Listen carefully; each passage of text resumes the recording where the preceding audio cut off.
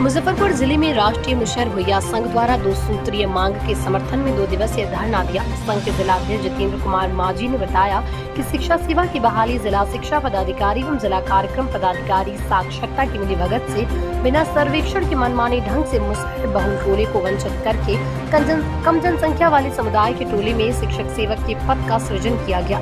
साथ ही बिहार सरकार के अंतर्गत मत्स्य विभाग में सरकारी सैर में भागीदारी देकर रोज़गार के मुख्य धारा से जोड़ा जाए। वहीं शिक्षक, सेवक बहाली में साक्षरता कार्यालय में लिपि के पद पर कार्यरत कुंदन कुमार द्वारा तीन से चार लाख रुपए प्रति अभ्यर्थी बहाली के नाम पर वसूल किया जाता है। संघ के जिलाध्यक्ष जितेंद्र कुमार मांझी ने उपरोक्त बातों पर अपने स्तर पर उचित कार्रवाई की जाने की मांग की है। अट्ठाईस तारीख से धरना के अट्ठाईस तारीख से हम लोग बैठे हैं।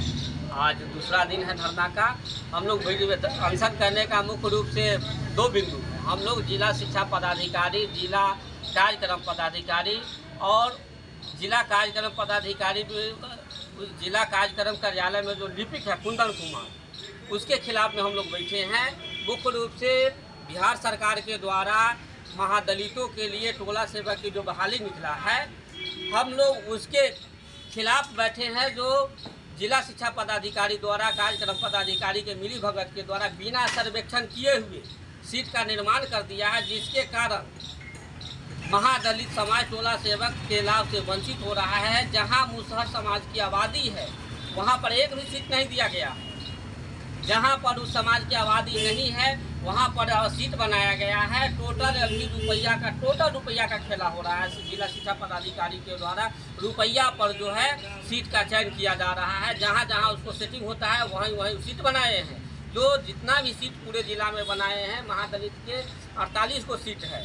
जिसमें टोटल के टोटल गलत है सही जगह पर एक भी सीट नहीं है और महादलित के समाज एक भी उससे लाभान्वित नहीं हो पा रहे हैं। आपका मांग क्या है मतलब इस पर? मेरा मांग है कि इसको पुनः नए ढंग से सर्वेक्षण करा करके नए ढंग से सीट का निर्धारण किया जाए।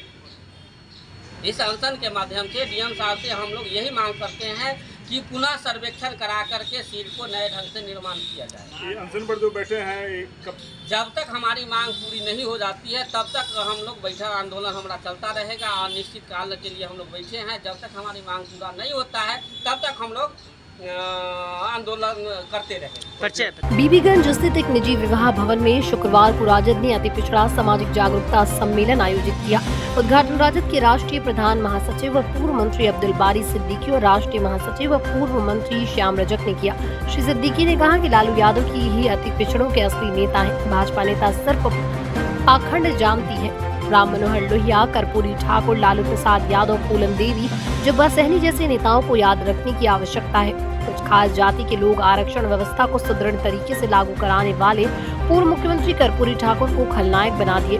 कर्पूरी ठाकुर नाई समाज से नहीं आकर दूसरी जाति से आते तो आज वो देश के दूसरे गांधी होते। उन्होंने कहा कि राम मनोहर लोहिया मारवाड़ी जाति से होते हुए भी समाजवाद की धारा को मज़बूत किया था। फूलन देवी की खास जाति के लोगों ने शारीरिक, मानसिक शोषण किया। उसके बाद एक एक करके उन्होंने बदला लिया। उससे जीवन में क्रांति लाई गई उससे प्रेरणा लेने की आवश्यकता है।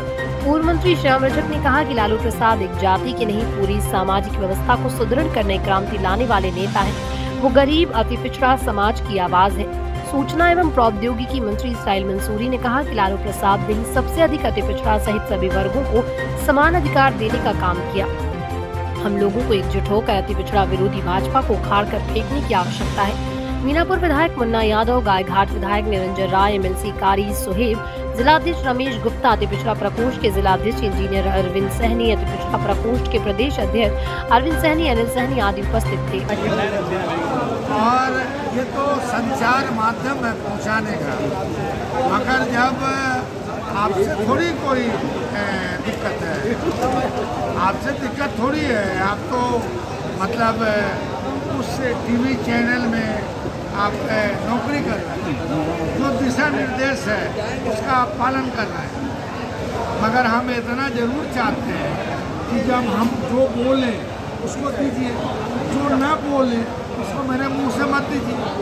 और जो बात आती है, उसको आप साफ़ साफ़ रख दीजिए। उसको अपने ढंग से तोड़ मरोड़ कर उसकी समीक्षा मत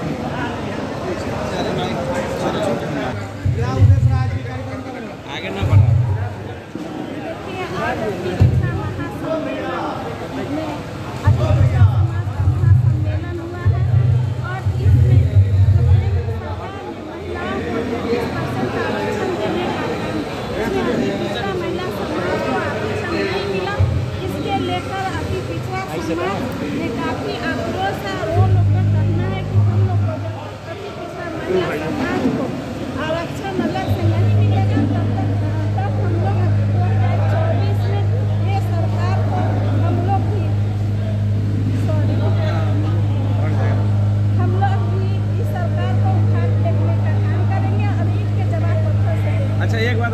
तैतीस परसेंट जो आरक्षण मिला है उसमें अतिपेक्षा की महिला हटा दिया गया है क्या? कि उसमें सम्मिलित है? हाँ, समाज की महिलाओं को आरक्षण नहीं मिला है इसीलिए अति समाज काफ़ी आक्रोश है कि हम लोग को भी अच्छा, उस- अलग से आरक्षण नहीं मिला है हाँ अलग से आरक्षण नहीं मिला।